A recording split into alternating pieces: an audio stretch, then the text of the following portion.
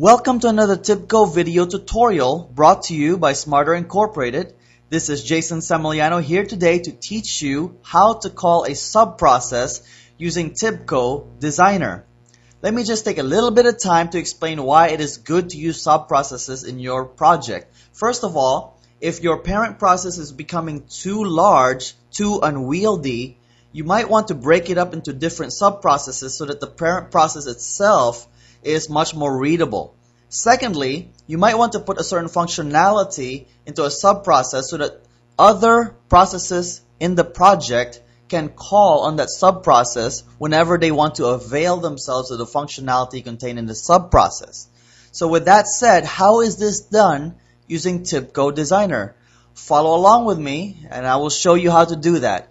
I think you will appreciate how easy this is to do using TIBCO Designer, which in my opinion makes TIBCO a wonderful tool for application development. So please follow along with me into our TIBCO Designer tool. This is the Smarter TIBCO Tutorials project that we previously created in another tutorial. What I'd like for you to do, inside the Business Processes folder, please create a new folder called Call Subprocess. Click Apply, Save. Underneath the Call Subprocess folder, we're going to create a process definition the first one we're going to call parent process. The second one, we're going to create a second process definition. We're going to call this one subprocess. You with me? A parent process and a sub-process. Go inside the parent, parent process. You have a start and an activity. There are two ways that you can call a sub-process. let me show you the first way. You can right click on a white space, add resource, go to general activities, and select the call process activity. In the call process activity, you can select the process name by clicking on the browse resources button here and then specifying the location of the subprocess. That's one way to call a subprocess. The other way, which I think is much easier, is to do this. So first, get rid of the call process activity. The other way is to simply take the subprocess and drag it over into the parent process as such. You see that? Now it created a call process activity which already put in the reference to the subprocess. This is much easier to do and I recommend you do it this way. So you have a parent process here that has a call to the subprocess. Let us connect them using transition lines. Go into the subprocess. And here, we're just going to keep it really, really simple. We're just going to put a, a transition line between the start activity and the end activity to keep it really simple. Go back to the parent process Let's make everything nice and neat here. Now, let me show you something, a little trick here. Go to the folder called subprocess, call subprocess, and check to see, make sure that everything is validated. Click on this button here, validate resource, and you'll see that all resources are validated. That allows you, with just one click of the button, to validate both processes or all processes inside a folder. So let's go back to the parent process. I'm going to save. I'm going to run this. I'm going to go to the tester. Click on the green button here. Click on load and start current. And it called the subprocess. The parent process called the subprocess. If you go into the subprocess, this as well was executed. And when it reached the end activity, it switched the control back to the parent process and then the parent process ended. So that's how you call a subprocess from a parent process. However, what if we want to pass data into the subprocess and we want the subprocess to return data back to us into the parent process? So let me show you how to do that. Stop your tester so what we're going to do here, we're going to keep it really simple. We're going to pass a name into the subprocess and then we would like the subprocess to return a greeting back to the parent process. So how do we do this? Go into the subprocess. In the start activity of the subprocess, go to output editor, follow along with me here, click on this add child button, rename this complex element called root into subprocess request to make it more meaningful than just the word root. Underneath the subprocess request, click on this add child button here and rename this new element called param, rename it to name. That is going to be the name that's going to be passed into the sub process. That's all you have to do. Now the sub process is expecting a name to be passed into it whenever it's called. Go into the end activity and we'll now go into the input editor so that we can pass data back to the calling process or to the parent process.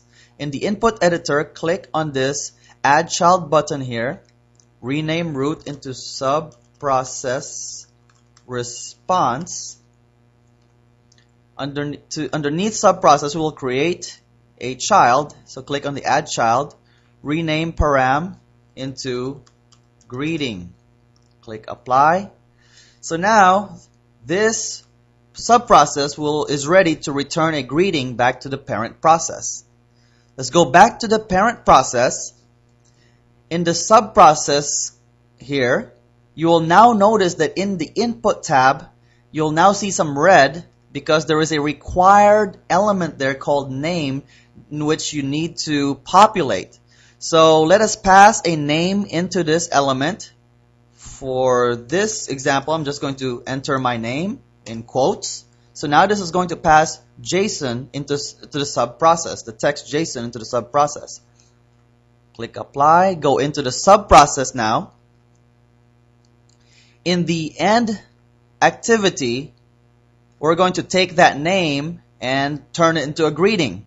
So click on the greeting element here. Click on this XPath Formula Builder pencil to bring up the XPath Formula Builder we are going to concatenate a couple of strings here so that we can have a nice greeting to return into the parent process. Go into functions, under string, use the concat function, and I show you how, showed you how to do this earlier. What we're going to do is we're going to say hello, and then the second string is the name so it's going to say hello Jason and then I'm just going to put an exclamation point. How are you doing? So your concat statement here should look like this. Hello, the past name, and then exclamation point and how are you doing?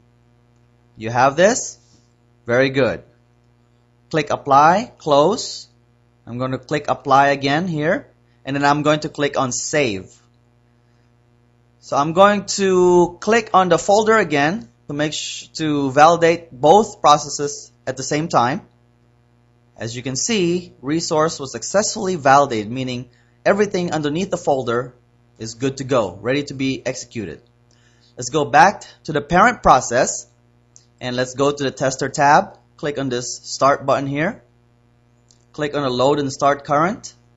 Let's see what happens. In the parent process, I'm going to click on the call process activity here.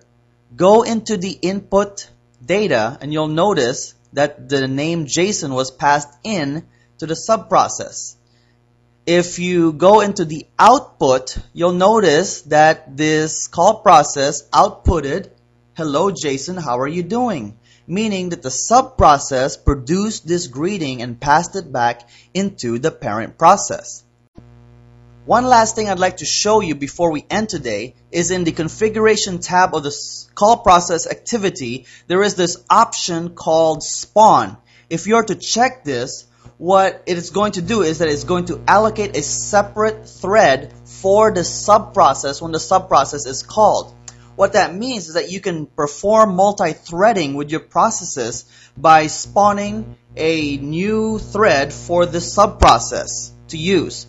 The drawback of this is that the output coming from the subprocess will no longer be available to the parent process if the subprocess is spawned to have its own thread. But in some cases, you really don't care what the output is of the subprocess. You just want it to go off, use a separate thread, and do its own task. So for today's tutorial, we have a mission accomplished. Thank you again for watching and thank you for all your supportive and wonderful comments. Please stay tuned for more tutorials to come. Again, this is Jason Semiliano from Smarter Incorporated. Thank you and have a wonderful day. Take care.